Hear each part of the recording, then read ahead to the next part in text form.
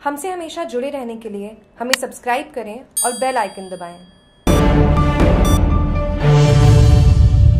सोजत के राजकीय प्राथमिक स्वास्थ्य केंद्र सियाट के अंतर्गत पाचुंडा खुर्द में तीन, सियाट में दो व पाचुंडा कला में एक कोरोना पॉजिटिव मरीज़ मिलने से हड़कम मच गया।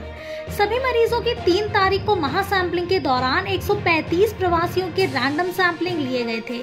उनमें से छह की रिपोर्ट कोरोना पॉजिटिव आई है। सभी मरीजों को उपचार के लिए सोजत कोरोना केयर सेंटर भेजा गया है। सभी एरिया को सैनिटाइज करा दिया गया है। इन सबके सैंपल तीन तारीख को लिए गए थे।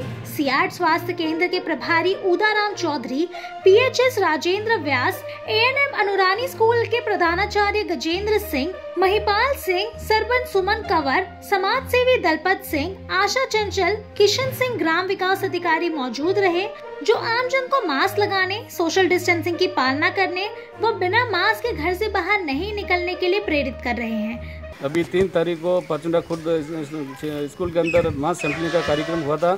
उसके अंदर 135 प्रवासियों की हमने सैंपलिंग करवाई थी, मास सैंपलिंग करवाई थी। उसमें से हमारे छः केस पॉजिटिव आए हैं। दो केस तो अपने सियाट के हैं, तीन पाचुंडा खुर्द के और एक पाचुंडा कला का है। हमने एक सौ आठ से उनको सोजत पी में शिफ्ट कर लिया है और कार्य, सैनिटाइजर का काम चल रहा है और सर्वे का काम चल रहा है। जागरूक टीवी के लिए सोजत रोड से बाबूलाल पवार की खबर।